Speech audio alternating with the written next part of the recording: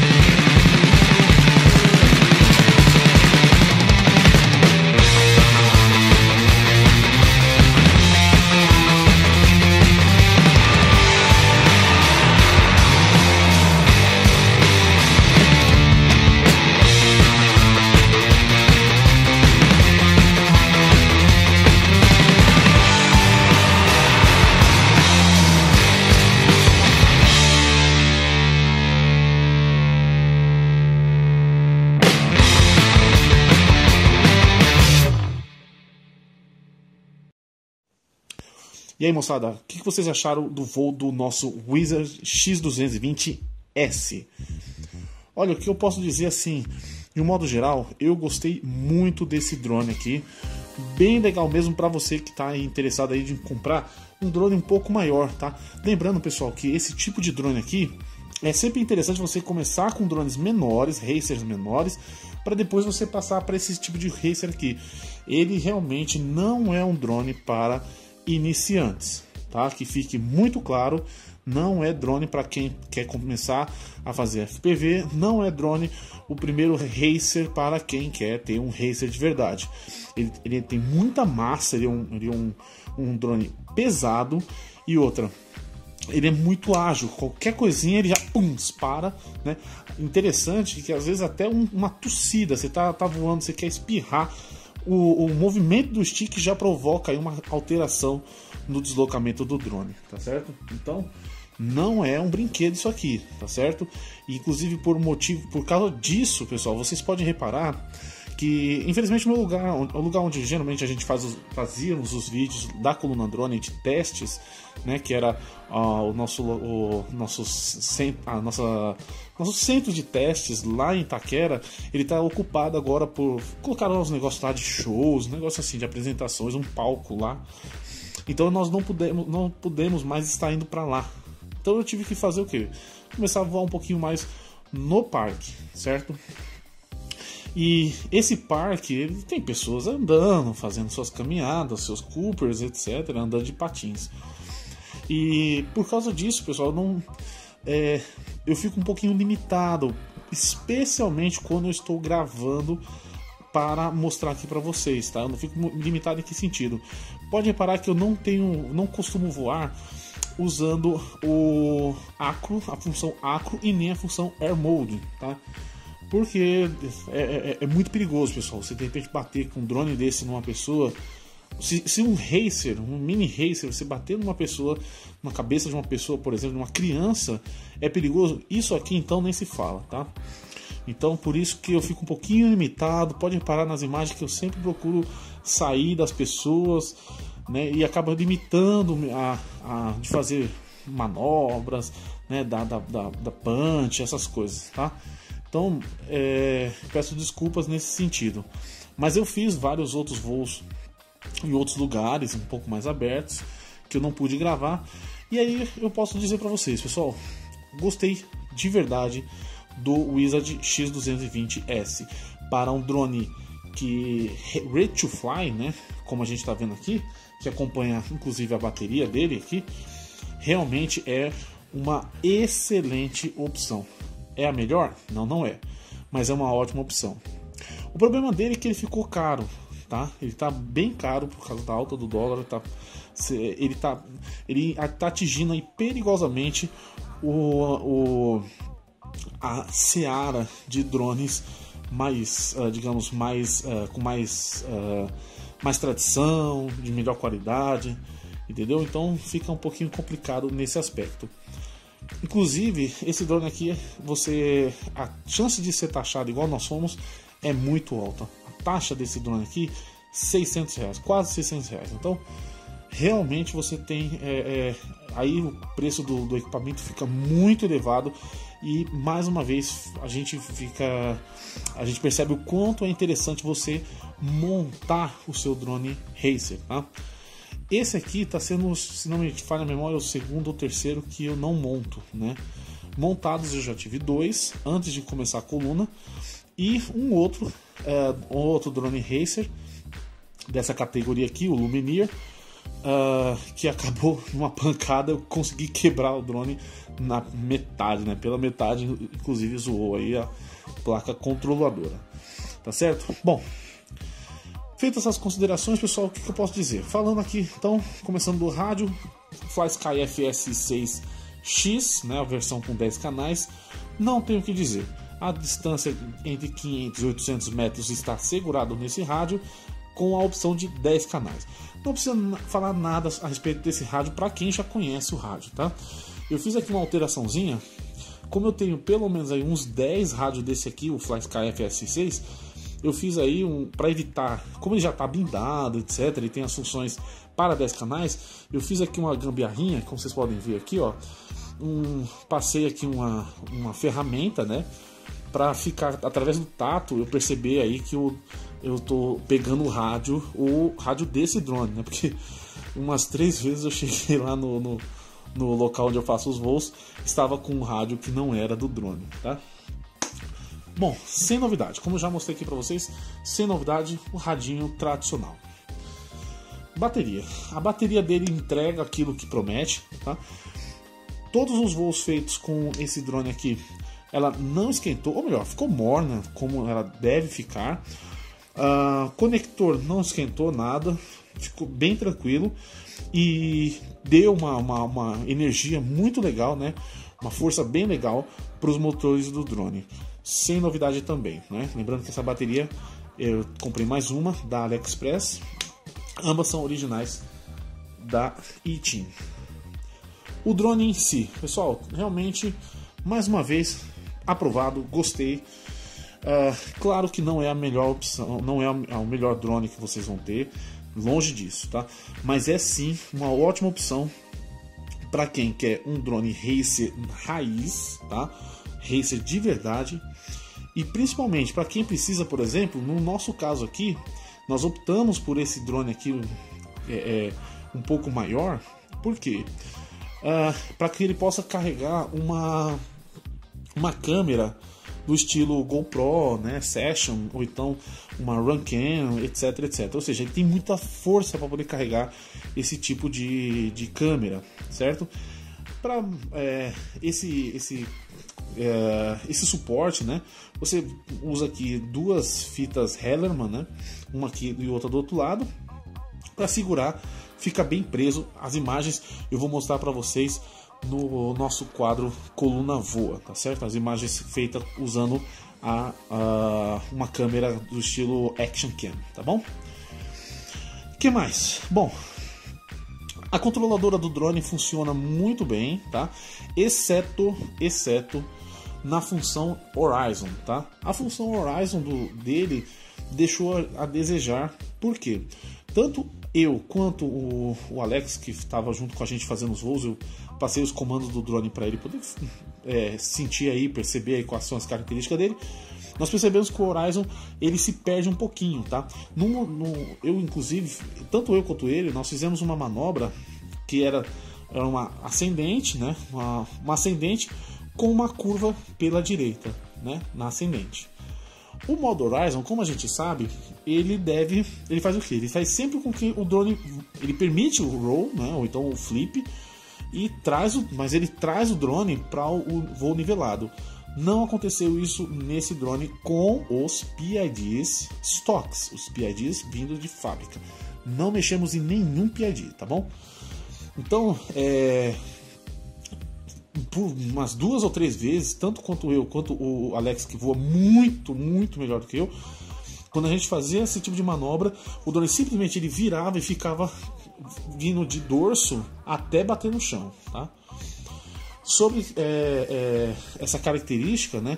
Acho que um mudando aí um pouquinho o exponencial, alguma coisa assim, pode melhorar um pouquinho mais essa característica do, do Horizon. A, a função acro, a função stabilize e a função air mode sem problema nenhum, tá bom? Uh, que mais? VTX. O VTX, o drone, como vocês puderam perceber aqui, meninada, é, eu deixei cair várias vezes, tá? Não aconteceu nada com o drone, porém amassou um pouquinho aqui a antena do VTX. O VTX é que isso é que legal que você assistir sempre reviews o mais pro, mais para é, é, mais assim, mais atual possível sobre um mesmo equipamento. Por quê? Aí a China estava encontrando muito, a galera estava encontrando muito problema com os VTX antigos que estavam vindo de fábrica, né? Anteriormente. E esses tipos de VTX foram motivo de muita reclamação da, da, da, da meninada. Por quê? com 200 mW, ele é de 25, 200 e 600 mW. Com 200 mW, o VTX não, não chegava nem a 100 metros né? Somente 600 miliwatts que melhorava um pouquinho. O que, que aconteceu nessa versão aqui que eles mandaram pra gente? Não sei se dá pra ver aqui, ó, mas é um VTX diferente, tá? Ele é um VTX, inclusive, que não vem a indicação de canal e nem banda. Não vem. Vem só uma, uma, uma luzinha fuleira lá.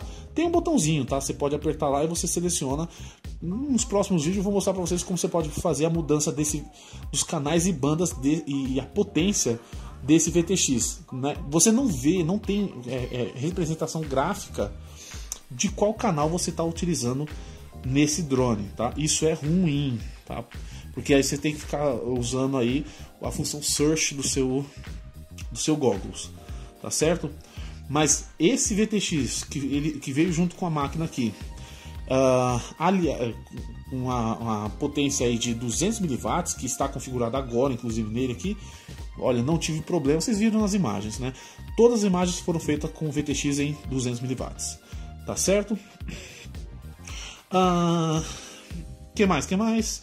A estrutura, realmente também achei que a estrutura, como muitos falaram, esquenta bastante, tá? Aqui na parte interna tem muita pouca ventilação, tá? Tem pessoas que tiram esse plate aqui, eu não vou tirar porque porque eu acho muito eu acho muito bonitinho, parece muito com os drones da, da DRL, tá? Eu não vou tirar, vou deixar do jeito que tá, até porque eu vou usar mais esse drone para carregar uma fazer testes de os reviews de Action Cams, tá? Aqui na parte de trás temos as, as, as strips. Achei legal que as strips elas mudam de cor conforme o comando que você dá no seu rádio, tá? É só uma frescura, tá? Isso é coisa de fresco, já vou deixando claro. Porque afinal de contas você está com rádio, né? ou melhor, você está com goggles na cara, não, não vai fazer muita diferença, tá certo? O cabo aqui, o pessoal reclamou que o cabo esquentava, realmente esquenta pra caramba, tá? pelo menos essa minha versão aqui, eu eh, terminava o voo, eu colocava a mão aqui nesses conectores aqui de, de, alimentação, estavam bem quentes. Mas não sei se isso vai influenciar no seu voo. ESCs. Os ESC não vi nenhum problema, tá? É, coloquei no BRL ali, no, no, software de configuração, tava tudo ok. Depois de pelo menos aí, eu fiz aí desde quando é, é, fiz as, as, imagens, fizemos mais ou menos uns 10 voos com as, as duas baterias ali, tá? não tivemos nenhum problema com os ESCs. Motores muito bons, tá? Sem novidades também. Esses motorizinhos aqui estão bem dimensionados para a máquina.